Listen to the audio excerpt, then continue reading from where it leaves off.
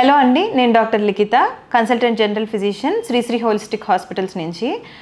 వృద్ధుల్లో ఎక్కువ శాతం చూసే ఇబ్బందులు ఏంటి అని అడిగారు. సో పెద్ద వయసు వచ్చాక మోస్ట్ కామన్గా మనం చూసేది ఇలా షుగర్ బీపీ థైరాయిడ్ ఇలాంటి కండిషన్స్ రెగ్యులర్గా చూస్తుంటామండి.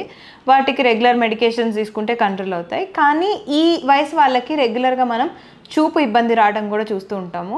వాళ్ళకి కంటి చూపు సరిగ్గా ప్రాపర్గా కరెక్ట్ చెయ్యకపోతే వాళ్ళు కనిపించక ఏదో ఒక దెబ్బలు తగిలించుకోవడము కింద పడడము ఇలాంటివి జరగచ్చు. అండ్ పళ్ళు పళ్ళు కూడా చాలా ఫ్రీక్వెంట్గా చెక్ చేయించుకోవాల్సి వస్తుందండి. ఏదైనా పన్ను ఊడిపోయింది సరే వయసు ఎక్కువైంది కాబట్టి ఊడిపోయింది అని మనం నెగ్లెక్ట్ చేస్తే కనుక పోషకాహారాలు సరిగ్గా తినలేరండి. వాటి వల్ల వాళ్ళకి మాల్ న్యూట్రిషన్ వస్తుంది. ఇంకా ఇంకా వీక్ అయిపోతారు. వాళ్ళ లైఫ్ ఎక్స్పెక్టెన్సీ ఇంకా తగ్గిపోతుంది. సో దాన్ని ప్రివెంట్ చేయడానికి కళ్ళు పళ్ళు కూడా రెగ్యులర్గా చెక్ చేయించుకుంటే చాలా బెటర్ సో వాళ్ళు ఆ ఏజ్ వాళ్ళు ఎక్కువగా బాత్రూమ్కి వెళ్ళినప్పుడు కింద పడిపోవడం కానీ ఇలాంటివి జరగడము. అలా జరిగినప్పుడు నార్మల్ వాళ్ళు అంటే ఒక young age forty fifty years వాళ్ళు ఏంటంటే ఏదో ఒక సపోర్ట్ తీసుకోవడం అలా చేయగలుగుతారండి. వీళ్ళకి అలాంటి ఫెసిలిటీ కొంచెం తక్కువ ఉంటుంది.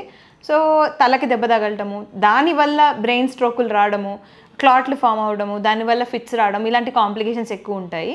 ఏదైనా షుగర్ ఎక్కువ కంట్రోల్లో లేని వాళ్ళకి ఏంటంటే చిన్న చిన్నప్పుడు మంచం అది తగిలినా కానీ పుండు ఫామ్ అవ్వడము అది హీల్ అవ్వకపోవడము ఇలాంటివి కూడా అవుతూ ఉంటాయి. సో వాటిని ప్రివెంట్ చేయడానికి ఇంట్లో ఎక్కువ శాతం డయాబెటిక్ ఫుట్వేర్ అలాంటివి వేసుకోవడం కానీ బాత్రూమ్కి వెళ్ళినప్పుడు ఖచ్చితంగా వాళ్ళకంటూ ఒక సపోర్ట్ లాగా అరేంజ్ చేయడం కానీ ఇంట్లో అలాంటివి చేసుకోవచ్చు.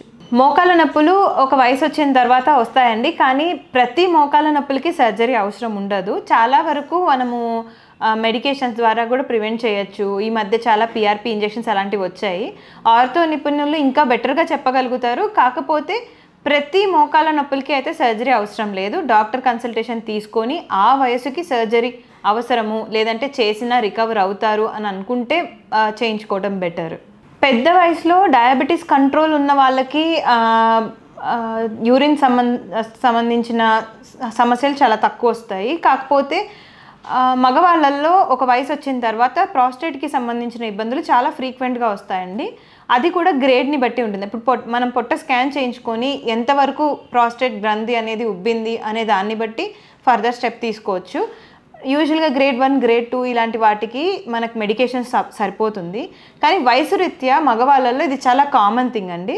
ఒక గ్రేడ్ తర్వాత మనకు యూరిన్ పాస్ అవ్వట్లేదు అలాంటప్పుడు చిన్న ప్రొసీజర్ చేయించుకుంటే చాలా వరకు వాళ్ళకి రిలీఫ్ ఉంటుంది.